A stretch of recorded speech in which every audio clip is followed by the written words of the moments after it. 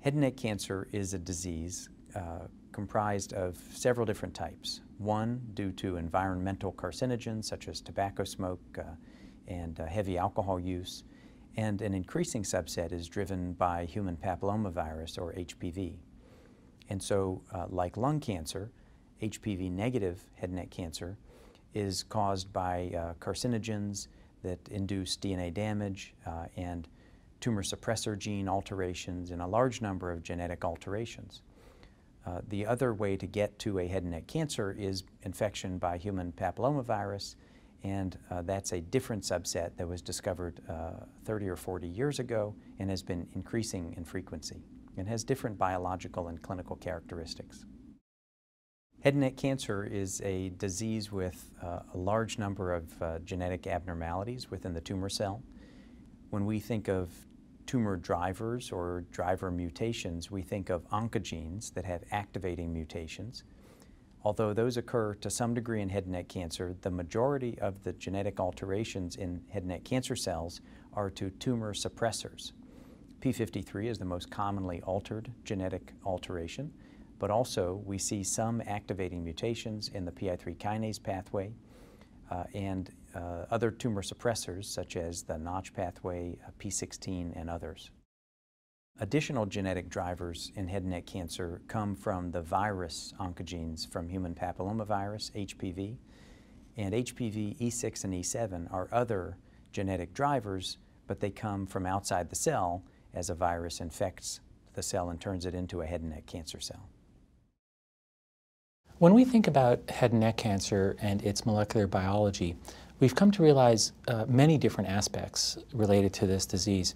One of them is mutational burden. And of course, we've now come to recognize that mutational burden has a impact and implications for the application of immunotherapy.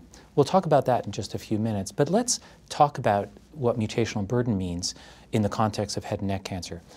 We normally define it by some measure of the number of mutations per base pair. Uh, usually it's per megabase. And we get a number, uh, depending on the cancer, of somewhere in the hundreds for high mutational burden cancers. We usually talk about numbers in the several hundred. For melanoma, we're even talking about possibly a thousand for uh, cancers that we know have a high mutational rate, like uh, microsatellite unstable cancers. Again, we're talking about many hundreds or a thousand. For head and neck cancer, we're really dealing with a moderately mutated cancer. What's interesting is that we always thought that for HPV negative cancers, you know, uh, typically tobacco related, alcohol related, traditional risk factors, we always thought that the mutational load for those cancers would be significantly higher than for HPV positive cancers. Well, it turns out that that is only somewhat true. There are some HPV negative cancers that have very high mutational loads, uh, again, in the several hundred to even, even close to a thousand.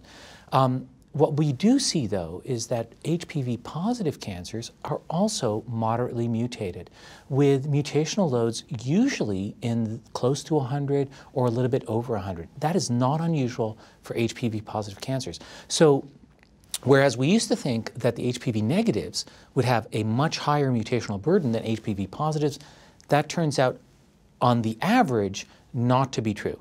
There are some HPV negative cancers with a very high mutational burden that we don't see in the HPV positives, but on average, the two appear to be about the same. And the reason that the HPV positives have a higher mutational burden than we thought was because some of the alterations in HPV positives actually disrupt the DNA repair or the translational machinery, resulting in a uh, cycle that, that causes more mutations.